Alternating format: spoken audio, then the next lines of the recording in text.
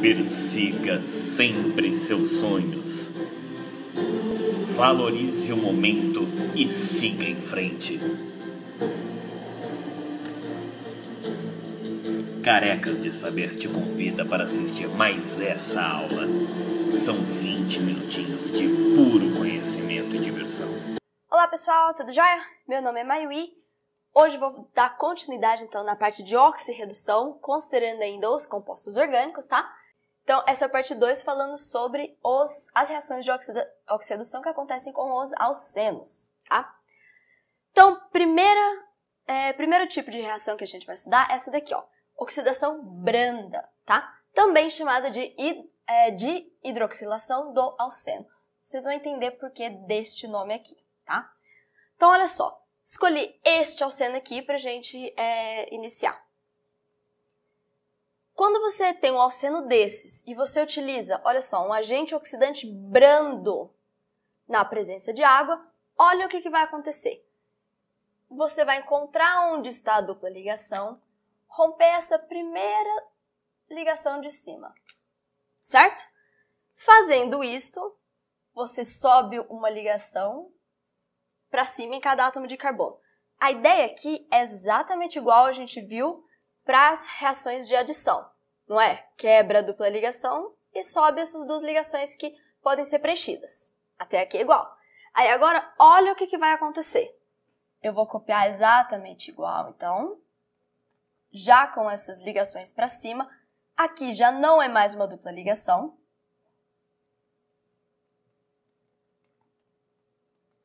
Esse carbono tem aqui um grupo metil.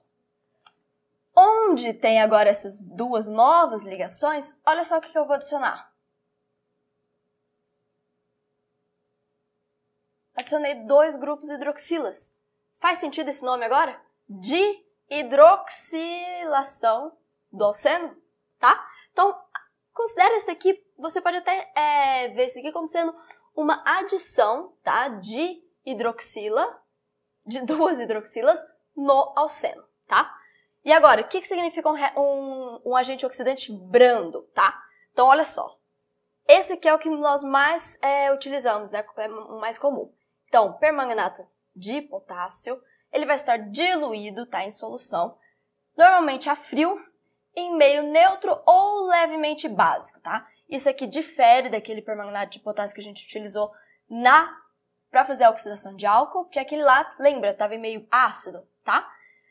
Então, em meio neutro ou em meio levemente básico, vai ser um agente oxidante brando, tá? Utilizado para fazer este tipo de oxidação, tá? Tem uma coisa que é interessante aqui, que é chamado teste de Bayer, tá? Então, vamos supor que você está lá no laboratório, você é, sabe que tem dois compostos ali no, no seu recipiente. Um é um alceno e o outro é um ciclano. Só que aí, sem querer, você misturou os dois, você já não lembra mais qual é qual, tá? Então, vamos diferenciar qual que é o alceno e qual é o ciclano. Teste de Bayer muito simples. Você vai fazer uma oxidação branda. Por quê? Olha só, se for um alceno, vai acontecer a reação. Igual eu mostrei aqui para vocês. Se for um ciclano, não vai acontecer a reação, não reage. E agora entra a beleza da coisa, né? Este permanganato de potássio, ele é lindo, ele é maravilhoso, ele tem uma solução violeta, meio roxo assim, tá? Essa cor violeta do permanganato de potássio, ele vai desaparecer quando ele reage. Ou seja, se for um alceno, essa cor violeta vai desaparecer, certo? Já se for um ciclano, onde não acontece reação, a cor violeta vai permanecer. E assim você já consegue separar, distinguir qual que é qual, qual que é o alceno e qual que é o ciclano, tá?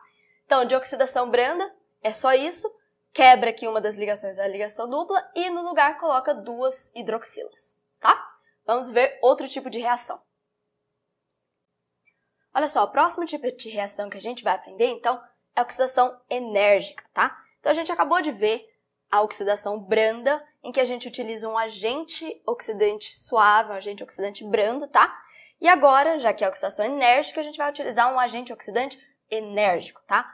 Olha só quais são os tipos, então dicromato de potássio ou permanganato de potássio em meio ácido, tá? Lembra que para fazer o brando era meio neutro ou básico.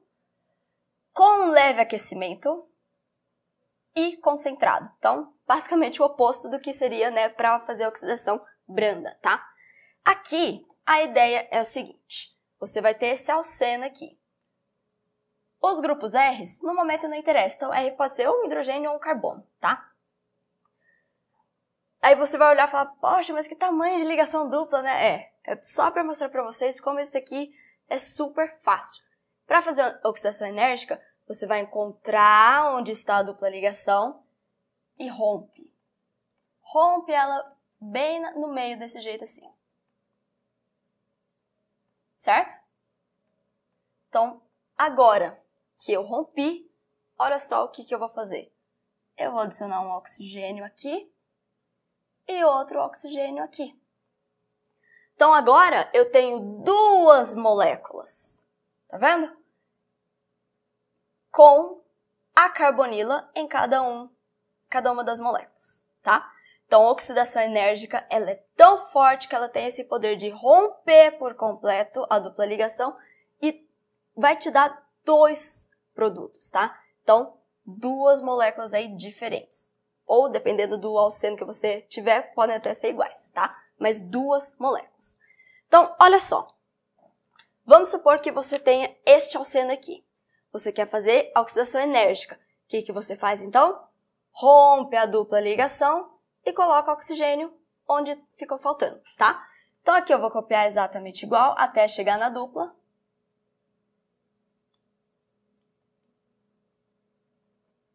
Olha lá, cheguei na dupla. Como eu rompi, eu vou adicionar um oxigênio aqui. Esquece este lado aqui, agora pensa só do lado que sobrou. Vou começar com oxigênio dupla, que seria para continuar, e agora copia o restante exatamente igual.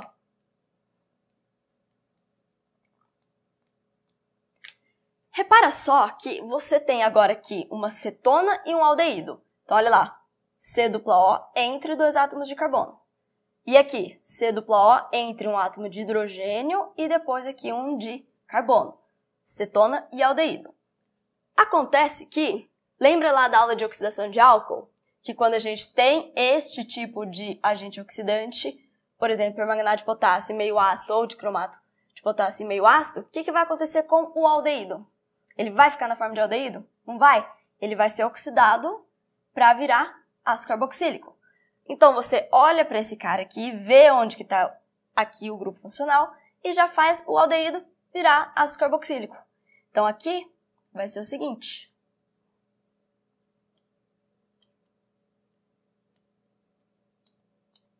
Pronto. E agora nós temos isso daqui, tá? Então, repara só. Quando você obtém um aldeído, já transforma direto para ácido carboxílico, tá? Isso daqui acontece quando a gente tem essa dupla ligação e olha, olha aqui, para obter a cetona, eu vou ter que ter um grupo metil radical, então, ligado no carbono que está dupla. Para obter o aldeído, eu não posso ter nenhum, é, nenhuma ramificação nesse átomo de carbono, certo? Isso aqui, então, considerando que você tem essa dupla ligação no meio ali da sua cadeia, tá? Então, tem mais cadeia para cá e para cá. Agora, olha só para esse daqui. Repara que a sua dupla ligação está acontecendo entre átomos de carbono, em que um deles é o último aqui da, da cadeia. Então, ele está na extremidade. Então, olha só o que, que vai acontecer. Mesma coisa, a mesma ideia aqui. Você vai romper essa dupla ligação e adicionar oxigênio. Então, até a dupla ligação eu vou copiar exatamente igual. Certo? Agora o que sobrou do lado de cá?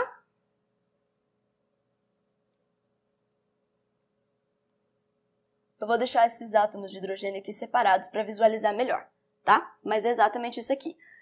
Repara só, ambos são aldeídos, tá? O que a gente acabou de ver? Se é aldeído, ele vai para a forma de ácido carboxílico. Então, este daqui vai ficar neste formato aqui, Olha lá, já viram ácido carboxílico. E esse daqui?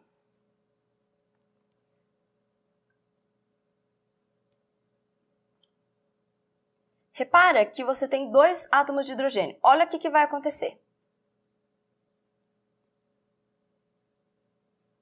certo? Isto daqui não é a mesma coisa que isso daqui? Quem que é esse cara que vocês já aprenderam lá na parte inorgânica? Ácido carbônico, tá? Uma coisa do ácido carbônico é que ele é instável, tá? Então, ele não vai ficar nesta forma aqui. O que, que vai acontecer com ele? Ele vai separar em água e gás carbônico. Certo? Então, pessoal, tomem muito cuidado, prestem bastante atenção. Se o seu alceno tem o alceno, a dupla ligação está localizada aqui no carbono terminal, onde está terminando aqui a cadeia, você vai formar este formaldeído aqui e vai formar então o ácido carbônico que vai dissociar, certo?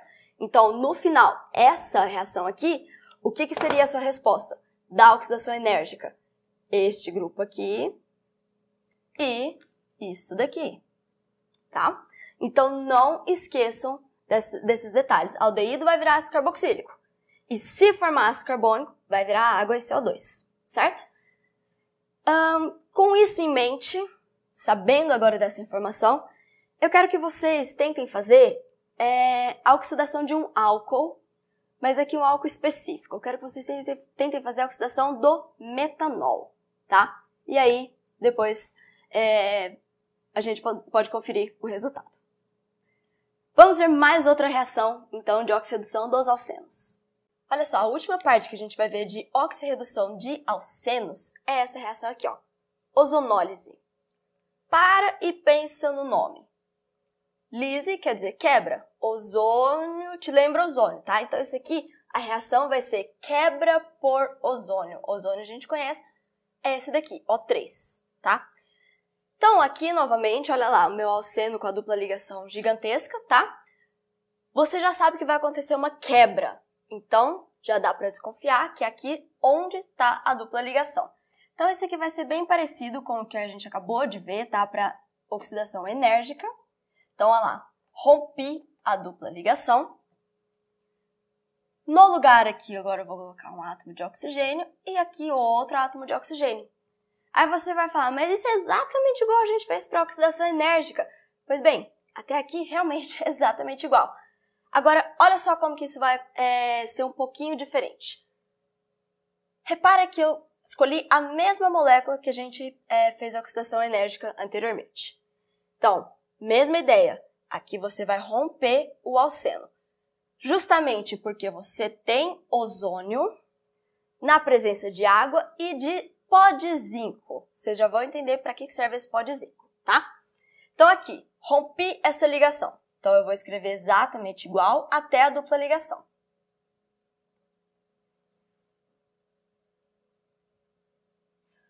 No lugar aqui, para finalizar depois da dupla, eu coloco o oxigênio. E para o lado de cá?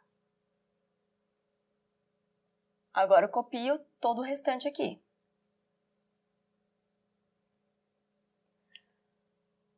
Aí sim, até aqui é exatamente igual da oxidação enérgica. Só que vai ser formado também aqui peróxido, tá? O que, que acontece? Este peróxido ele vai ser destruído pelo pó de zinco que você adicionou, tá? O peróxido ele é também um agente oxidante e se ele não fosse destruído, ele iria reagir com o aldeído, fazendo a oxidação desse aldeído. Como ele é destruído, justamente para não reagir com o aldeído, aqui está a diferença. Forma-se o aldeído e permanece na forma de aldeído, tá? Então, para oxidação enérgica, se você tem um aldeído, ele vai para ácido carboxílico. Aqui não, na ozonólise não. Você chega no aldeído, permanece na forma de aldeído, tá? Então, por exemplo, para esse daqui, mesma ideia. Vou copiar exatamente igual até onde está a dupla ligação. Aqui está a dupla, onde eu rompi, então essa primeira molécula tem oxigênio aqui, e essa outra, assim. Repara só, mesma ideia, aqui forma um aldeído e aqui também outro aldeído, que vão, eles vão permanecer na forma de aldeído, tá? Então, não vai ter aqui aquela formação do ácido carbônico, então isso aqui não vai né, é, quebrar na forma de água e CO2, vai permanecer como formaldeído, certo? Então, ozonólise aí para vocês. Um, essas são as reações que vocês precisam saber, as três reações de oxidação, oxirredução de alcenos, tá? Vamos dar uma olhadinha agora para a reação de oxirredução de aromáticos. Pessoal, sobre os aromáticos, vocês precisam lembrar que eles são resistentes, tá? Então, assim como eu falei que eles são resistentes à adição, eles também acabam sendo resistentes a sofrer oxidação, tá? Então, assim, uma reação que vocês assim, é, é, precisam conhecer. Em processos biológicos, tá? Quando a gente tem, por exemplo, benzeno, acontece uma oxidação biológica já nas condições necessárias e normalmente obtém-se o fenol, tá? Então, essa reação aqui de oxidação que é a mais importante para vocês conhecerem. Agora, quando esses compostos benzênicos já possuem um substituinte alquila, tá? Então, eles já têm um grupo ali substituído, aí sim muda um pouquinho a, a ideia aqui de oxidação. Então, por exemplo, vamos supor que você tem aqui o tolueno, tá? Então, aqui o seu anel benzênico com já um substituinte alquila, tá? Utilizando aqui um agente oxidante adequado, olha só o que acontece. No lugar onde tinha o grupo substituinte, você vai oxidar e vai formar um ácido carboxílico, tá? Então, é só você observar isso daqui tem o grupinho alquila, troca para ácido carboxílico. Então, por exemplo, você tem esse cara aqui, tem esses dois grupos substituintes. Mesma ideia. Então, onde tem o grupo alquila, você vai trocar para ácido carboxílico. Então, aqui, que nem eu já mostrei para vocês, essa maneira de escrever COOH seria equivalente a mostrar tudo isso daqui, tá? Então, isso aqui, ácido carboxílico. Este ácido carboxílico também é chamado de ácido fitálico, certo? Vamos ver mais algumas é, reações de oxidação. Bom, até agora a gente só falou né, de oxidação, então utilizando o alceno ou ali algum grupo que contém oxigênio, né? Então, olha só, dá pra gente fazer também se você pensar que tem grupo contendo nitrogênio. Então, se você pegar essa molécula aqui, que é a anilina, fazer a oxidação dela, olha só o que, que você vai obter depois. O nitrobenzeno. Então, você tinha um grupo amino e agora um grupo nitro, tá? Então, essa oxidação é válida. O retorno também. Então, dá para você fazer a redução desse grupo nitro de volta para a grupamina. Então, por exemplo, o exercício pode falar assim: eu quero que você faça a síntese da anilina, ou seja, obtenha anilina de alguma forma, mas começando a partir do benzeno, tá? Então, olha só, você tem aqui o benzeno. O que, que seria uma lógica? Lembra quando a gente aprendeu a fazer a nitração do benzeno? Tá? Então você pode fazer essa reação de substituição, adicionar o grupo nitro aqui no benzeno e fazer a redução desse grupo nitro agora para anilina, utilizando aqui um agente redutor adequado, tá? Lembrando que essa anilina, ela é muito importante na indústria, tá? Então ela serve como corante aí de diversas coisas, tá? Então, só para vocês terem uma ideia como funcionaria uma síntese, tá? Uh, é isso que eu queria falar sobre oxidação de aromáticos. Agora vamos dar uma olhadinha é, na reação de oxirredução, provavelmente a mais comum de todas. É a mais, a mais importante, né, que vai aparecer bastante aí para vocês, tá? Que é o que nós chamamos de combustão. Em relação à combustão, primeiro vocês precisam saber o que é necessário para existir combustão, ou seja, o que precisa para alguma coisa pegar fogo, tá? Então, três coisas: combustível, comburente e calor, tá? Então, combustível vai ser de fato o que vai pegar fogo, né? Então, ele vai fornecer energia para queima, tá? Comburente vai ser aquele que vai reagir quimicamente com o combustível e permitir que essa reação, uh, permitir que a combustão aconteça, tá? E claro, precisa de calor, tá? Então, você, a gente precisa aqui alcançar uma temperatura de ignição, ou seja, uma temperatura superior, né, a essa temperatura de ignição, onde realmente é, pode pegar fogo. Aqui nós vamos dividir, dividir a combustão em duas partes: combustão completa e combustão incompleta, tá? Olha só a combustão completa. Aqui eu coloquei três exemplos para vocês darem uma olhada e pensar. Então, olha o que é igual em todas elas. Tem um grupo aqui, um composto orgânico, Ou pode ser só na forma de hidrocarboneto, ou aqui também pode ser um composto oxigenado, tá? Repara só, eles vão reagir com oxigênio. Então já dá pra gente pensar o seguinte: estes compostos aqui seria combustível. O oxigênio seria o que reage quimicamente com o combustível, ou seja, o comburente. Feita essa reação, olha só o que, que dá origem. CO2, dióxido de carbono e água. Todos eles dão origem ao mesmo produto, tá? Então, combustão completa lembra que vai formar CO2 e água. Então você pega lá o seu composto que vai ser o combustível, reage com oxigênio e vai formar CO2 e água, certo? E aqui, só para vocês verem, depois façam o balanceamento aí, para vocês verem que realmente precisa balancear depois que você tem essa equação. Para combustão incompleta, o que, que vai variar? O que, que vai mudar? O produto que você vai obter. Então, se para combustão completa a gente obteve CO2, para incompleta vai poder obter ou CO, monóxido de carbono, ou simplesmente carbono, certo? Então, olha lá, uma reação para cada. Repara só, a mesma coisa, então combustível, o oxigênio como comburente, dando CO mais água. Ou a mesma reação aqui, é, queimando metano, dando carbono e água. Esse carbono aqui, na forma, né, aparece na forma de fuligem, tá? O que eu quero que vocês separem é o seguinte. Para a combustão completa, é quando a gente tem uma oxidação total. O que, que isso quer dizer? Olha só o átomo de carbono aqui. Ele, não, ele tem o NOx, o número de oxidação, mais 4, que seria o número de oxidação mais elevado possível para o carbono, tá? Se você comparar isso com os outros dois produtos aqui da incompleta, você vai ver que eles têm, os átomos de carbono desses produtos têm o NOx menor, tá? Então, mais 4, aqui seria mais 2 e 0, certo? Então, aqui acontecendo uma oxidação parcial e aqui uma oxidação total, certo? Por que, que a gente pode classificar isso aqui, então, como uma reação também de oxidação? Porque está acontecendo aqui a reação com oxigênio, tá? Só que isso aqui é mais conhecido realmente como com o nome combustão, certo? Uh, o que vale lembrar aqui é uma curiosidade, na verdade, o CO, o monóxido de carbono, ele é um gás tóxico, tá? Extremamente tóxico. Então, o que, que, ele, que, que ele faz? Ele se liga à hemoglobina, tá? Do nosso sangue, aquela hemoglobina que transporta oxigênio. Lembra lá das aulas de biologia? Então, quando ele se liga na hemoglobina, ele impede que haja a, é, o transporte de oxigênio, tá? Então, você pode acabar morrendo sufocado aí, né? Desse jeito.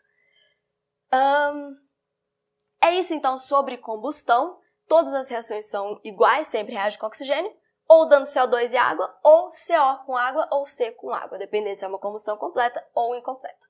Pessoal, é isso sobre oxirredução. Vejo vocês na próxima aula. Até mais! Primeiro vou falar sobre as reações que é, nós analisamos... Nós, é... Ai... Peraí, eu tava pronta. Olha só, a última reação que a gente vai ver de oxidação... Oxirredação... É, Redação não é. Não, pera, onde eu tinha parado? Calma aí, volta. Eu já embolei tudo.